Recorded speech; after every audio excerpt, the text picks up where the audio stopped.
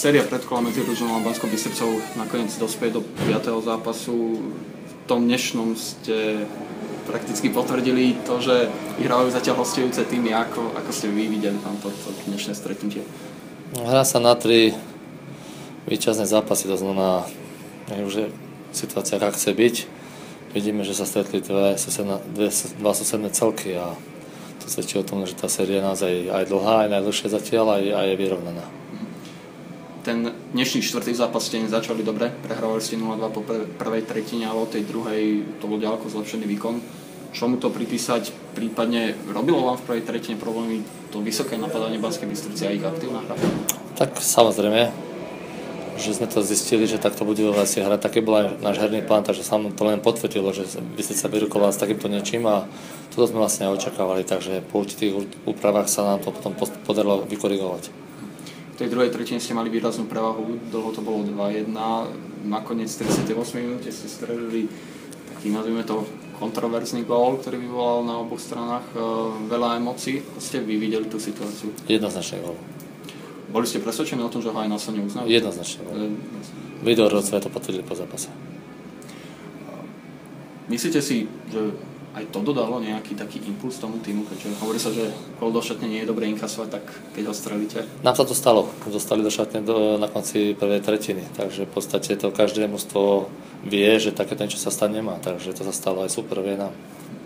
V podstate celý tento zápas bol plný, nazvime to, sporných rozhodnutí, rozhodnutí, respektíve rozhodnutí, ktoré vyvolali, vyvolali vášne. Váš náprotivok sa nám aj stiažoval, že ste až tam príliš často komunikovali s s rozhodcami. Môžete niečo k tomu povedať, prípadne, že o čom ste sa aj tak rozprávali?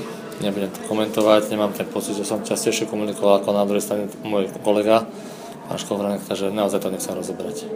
V tretej tretine ste inkasovali gol vlastne na 3-3, ale prakticky o minútu a pol eh, ste strelili víťazný gol. Čo to aj hovorí o takom, možno, takej mentálnej sile tohto týmu? Tak vidíte, že sme dokázali vonku vyhrať, takže toto je podstatné, ale podstatné bude to, čo bude, aký zápas, ako dopadne doma, takže my si kladieme postupné ciele. Môžete povedať, čo vám prebehlo tak hlavou, keď minútu a 50 sekúnd pred koncom Igor Baronov sa tam nechal vylúčiť a išli ste do, do Štvorica? Prebehlo mojim hlavou to, že toto nás môže posilniť, lebo to ešte viacej pomôže chlapcom zahrať koncentrovane aj keď sme boli jedného hráča menej, ale prvé som si uvedomil, že toto môže byť voda na náš mlyn a samozrejme, ak mužstvo nedá presilovke gól, čo sa vlastne stalo, tak e, sa nejakým spôsobom tá nervozita zvyšuje práve naopak na ich strane. Zatiaľ ste v e, oslabeniach v tejto sérii 100%. Len v tretej tretine tohto zápasu ste zlikvidovali 4 presilovky supera. Nejako ste ich nacvičovali, tie oslabenia, alebo uh, nejaký v podstate výsledok tej dlhodobej práce? Nacvičujeme, nacvičujeme všetky herné činnosti, medzi ne patrí aj hra o oslabení, samozrejme tomu sa takisto človek venuje a je jasné, že sme boli 8 krát vylúčení, teda 8 minút sme boli oslabení, čiže tam takisto to nechcem nejako rozvíjať, rozvádzať, ale tam už začínala nejaká kompenzácia. Vy ste v eh, prvej tretine si vyzriekli budu na stridačke. Zrejme na lade sa iskro, bolo horúce aj na stridačke teda. Áno, je to pravda, bolo mi teplo a v tejto hale dneska bolo mimoriadne teplo, takže som si dovolil vyzrieť sa a cítil som sa takto príjemnejšie. Hmm.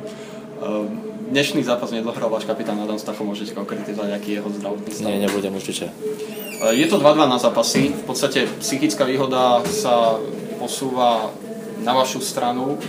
Čo k tomu vlastne strajšiemu zápasu, aby ste ostali na, na tej víťaznej vlne, ako prežiť ten zajtrajší deň voľna? Určite si dáme teraz najbližší cieľ to, že chceme sa navečerať, dostať do seba vydatnú dobrú večeru, ktorá patrí po takomto zápase, docestovať domov, začať sa zaoberať sa generáciou, zajtra je podstatný deň pre túto sériu, takže zameriame sa na generáciu, hráme doma samozrejme. myslím si, že je potrebné získať tretiu tehličku. Možno taká filozofická otázka, ale verili ste na začiatku poslednej minúty toho včerajšieho zápase tretieho, že by ešte séria mohla sa vrátiť do Bratislavy? Verili sme už po prvom aj druhom zápase v Bratislave, že chceme to otočiť, keď sme prehrávali 0-2, takže v každom prípade, že áno. Je práve, keď to porovnáme s tým minulým rokom, tak zrejme tu taký talent vo vašom týme nie je, ako tomu bolo v Lani, ale o to je psychicky silnejší tento tým. A toto mužstvo potrebovalo zistiť, ako chutí víťazstvo. A je dobré, že sme to dokázali práve na pôde Banskej Bystrice.